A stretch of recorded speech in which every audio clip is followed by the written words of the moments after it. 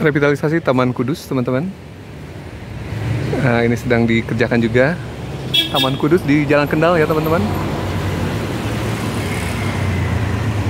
Sedang dikerjakan, sedang ada revitalisasi juga Taman Kudus, teman-teman di Jalan Kudus ya. Di berbatasan juga dengan Jalan Kendal. Ini di Stasiun Sudirman, teman-teman. Ya, tidak jauh dari Stasiun Sudirman adalah Jalan Kendal dan Jalan Kudus yang sedang direvitalisasi tamannya ya teman-teman. Nah ini suasana di Jalan Kendal yang mengarah ke Taman eh, Kudus ya teman-teman.